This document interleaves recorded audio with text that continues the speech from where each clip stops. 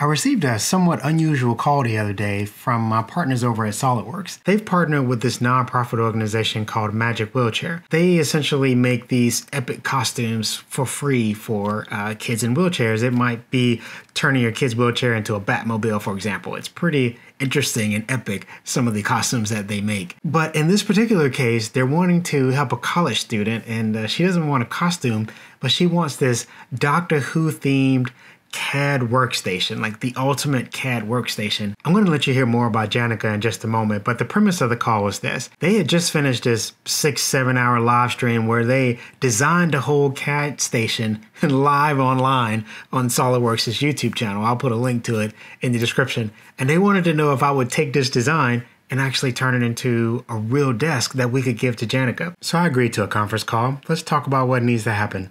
And that's when they dropped a bomb on me. Not only do they want me to build this desk, but they want to give it to her at 3D Experience World, which is in February 2023. That's only about two months away, people. Whew. Looking at her face, though, I said, challenge accepted. Let's build this Doctor Who desk.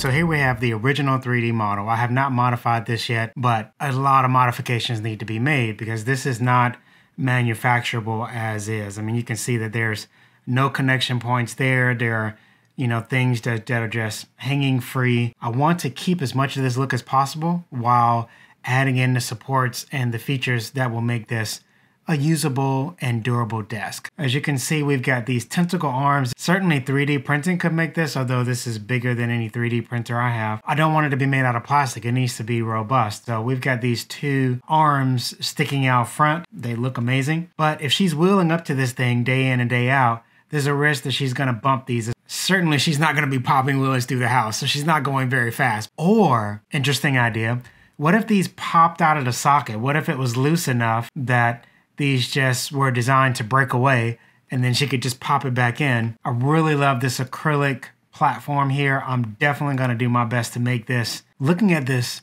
huge monstrosity in the back, this thing is just fantastic looking and I have no idea how I'm going to build that. Maybe we cut it up into sections, 3D print the parts, and then glue them back together. We also, again, want to make sure it's robust enough to stand up to a little bit of abuse. I feel like the obvious answer is to 3D print the shell and then cover it with uh, fiberglass, but I have zero fiberglass experience. So it's really risky to take on a new skill like fiberglass and try to implement that on a project that's deliverable in two months. And then I really love this mesh looking thing on top too. So I'm also going to do my best to preserve that. Probably going to trace inside of this corner uh, some sort of LED to really make this thing glow and pop. It just look incredible. This second set of arms, I'm just going to veto this right now. To create both supports for those arms and make them movable and drop down is, is a bit too much for two months. I think between this huge work surface here and these two arms, she's going to have plenty of work surfaces to work with. So let's not make it more complicated than we need to within the time frame that we have. So I've been tinkering with this for a couple days now, and I've mostly just cleaned up the 3D model. And the part that I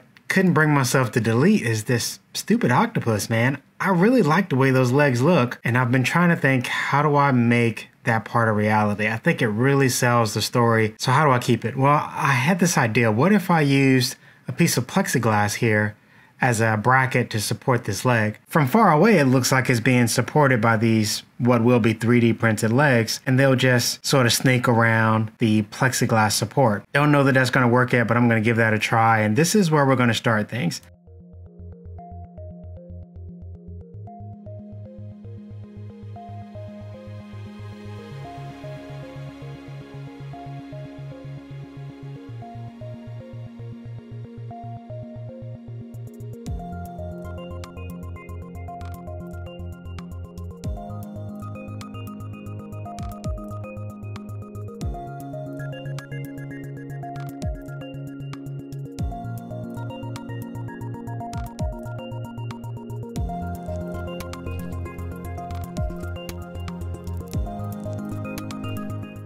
This is the design board for the project. This is where all of our reference images are, all our notes and dimensions. I'm just checking to make sure that all the changes I make are still in line with our original goals. At one point I noticed that the canopy was wider than the original design constraints that she gave us, so I had to make it a little more narrow and that's what you see me doing here in X-Shape. Speaking of X-Shape, this is a good opportunity to tell you about today's sponsor, SolidWorks, in case you haven't figured that out. SolidWorks is by far the most important tool I have in my toolkit. In fact, every project on my channel except for the very first one was all 3D modeled in SOLIDWORKS. I love using this app. You have to know that by now. But you can get all the power of SOLIDWORKS in the 3D experience SOLIDWORKS for Makers offer which is just incredible. For $99, you can get SOLIDWORKS for Makers, and it comes with X-Shape, it comes with X Design. These are online apps that you can use in any browser, anywhere in the world. You can access your model anywhere. So you see me modeling this canopy here in X-Shape,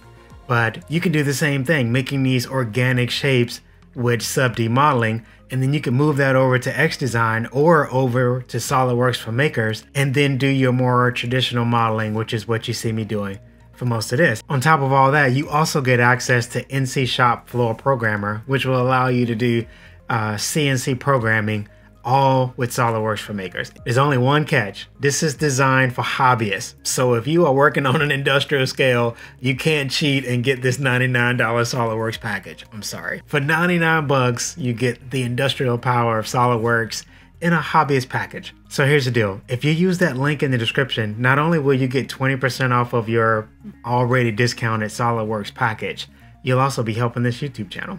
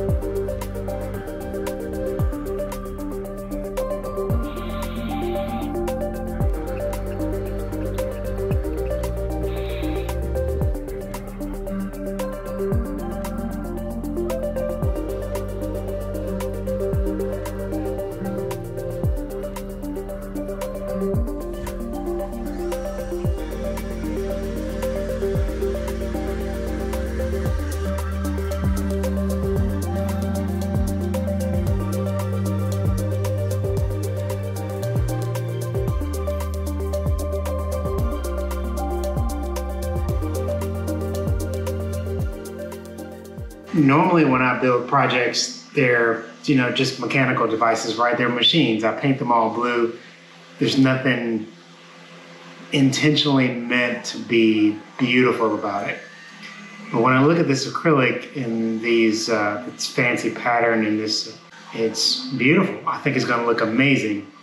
And That's not a feeling I usually have when I'm working on a project in my shop. So yeah, I think that's the best way to describe what I'm feeling right now. This is gonna look pretty amazing when it's done. I'm gonna be doing a lot of 3D printing for this project. This is the Guider 3 Plus. It's got the tallest print volume of the 3D printers that I have. Forge sent me this printer for testing, and after putting it through its paces, I decided I wanted to keep it. But even at 250 millimeters per second, I wasn't able to print nearly fast enough to get all of these prints done. So I ended up buying two more 3D printers, as well as outsourcing some of the 3D prints and having it shipped to the shop. It's hard to convey how much time I spent working on 3D printing, reprinting things, and also tearing off supports, but needless to say, a lot of work went into 3D printing. Survived. I was definitely most concerned about this part breaking during shipping. And there it is. Okay, I've run into a little bit of a problem, and this is actually a problem I anticipated when I was designing this, and that is having locating features that interfere with each other. So, for example, I've got locating features in this direction, uh, some here in this direction, and some in that direction. And so these, when you're trying to go that way, have the part pushed out, which makes this locating feature not want to go in and, and, so on. You, you really need to just have two, not three. Again, I anticipated that problem and I was moving the locating features around, but I was also changing the model a lot. So every time I made a change, I also changed where I cut the model to change the size of the 3D prints.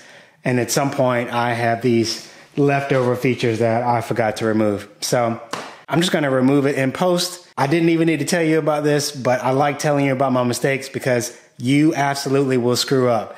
Don't let anybody make you think that these projects always go perfectly. Any engineer who tells you that their projects go flawlessly is either lying to you, which I hope they're not, or they have zero experience, which is the more likely thing. So anyway, we are going to cut off these locating features. I screwed up. I wanted you to know about it, but this is a relatively painless one to fix. Thank goodness. All right, let me get my grinder. I'm sure some of you are going to ask, what is the stuff that I'm using and why am I using it for this application?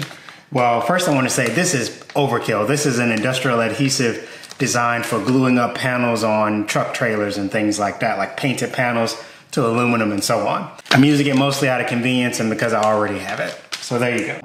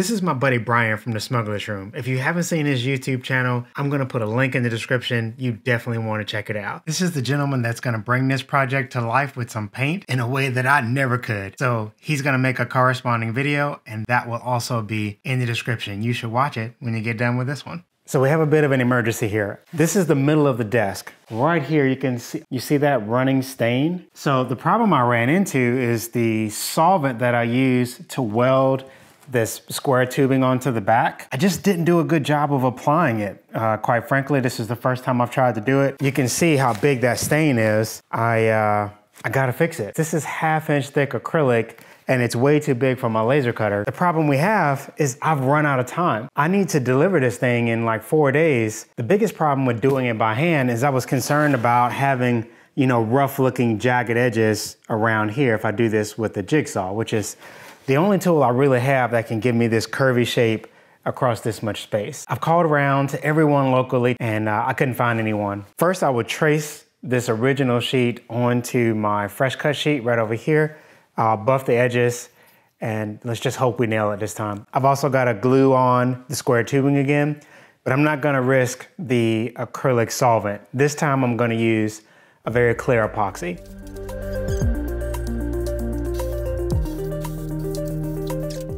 To avoid melting this really thick plastic, I have to go very slow. This is actually 25x speed.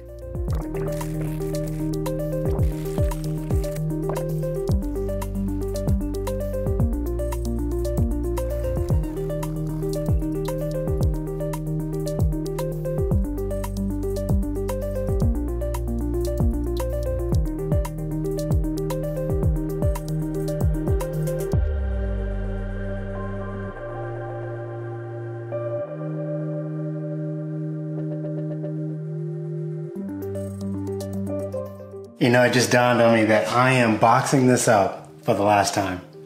Tomorrow, we're gonna be delivering this thing. That is, uh, that's pretty awesome.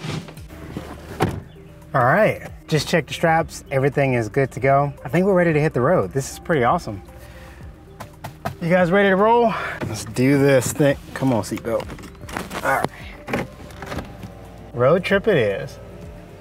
About two thirds of the way through the project, we decided it would be better if we delivered it to her house. That way we could put it together for her and make sure everything was perfect. We show up at the house and it's go time. This is Dan Wagner from SolidWorks and he's here to help me finalize the assembly. It's really hard to explain all the feelings I'm experiencing at this moment. I'm finally seeing all of the parts come together and even though I've assembled this before, it's something about seeing the plexiglass and knowing that she's about to walk into this room and see this thing for the first time. The feeling is just incredible. Come on in. Oh, that is awesome. I like it. That's awesome. What do you think? I love it. You love it? I do. I'm I'm blown away by the like detail work and, and the droids and Mhm. everything. And Jeremy, take her through it, man. I mean, that's it's your masterpiece. Well, uh, there's only a couple things that I really want to uh, point out. First, personally, I am super excited about the tentacles like sticking out there and like this.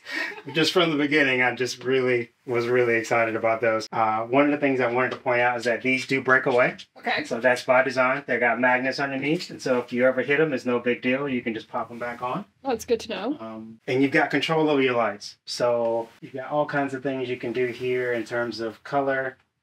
Uh, there's a few settings for making it dance to music and things like that. So these lights also change colors. You can brighten them for when you're working at your desk if you want to dim them a little bit. I'm, I'm excited about it. This is my first time seeing it too, actually, Yeah. with all the paper off and it's like I completely really like to it, especially the lights you showed me that dim. Those are so helpful with soldering.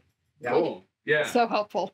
I cannot believe this thing physically exists in life. Like we saw a 3D model of it, right? Yeah. But like seeing it sitting here in your room is just so different. It's so awesome. This definitely ranks up there as one of the most rewarding projects I've done on this YouTube channel. I think I'm going to end this video by just letting Janica introduce herself and tell you how she learned about this project. And I came across a post by Magic Wheelchair stating that they were paired with SolidWorks for Slug Me 7 and looking for somebody and requested that they wanted to do a desk this year, kind of change it up a little bit. So I commented on there a little bit about me saying that, you know, I went to Purdue, electrical major, that I also had a certification from SolidWorks. And then the director, she reached out to me. We had a lengthy phone call and she put me in contact with Dan Wagner at SolidWorks and we got started. So, major nerd, love Doctor Who. Uh, over the summer, I was watching Doctor Who and decided to kind of start my own mini project where I was building a Dalek from scraps around the house. And then when I got in contact with Magic Wheelchair to work with Select Me 7 on designing the desk, I got the idea. I'm like, what if we took and turned the desk into a Doctor Who thing? We had multiple possibilities. You have all kinds of villains you could go after, many TARDIS designs. Possibilities were endless, and really ended up loving the overall design and ideas. And what do you think of the desk? I absolutely love it. With how I incorporated at the base, we have the Dalek design, the ultimate enemy. Then the top, it resembles a good portion of what the command center of the TARDIS looks like itself. Great combination of both designs. I cannot wait to get my equipment on here and start working. this summer. That's awesome. What are you going to make on it? That is to be determined. You never know when you get bored what will happen when you have a bunch of random components in a toolbox.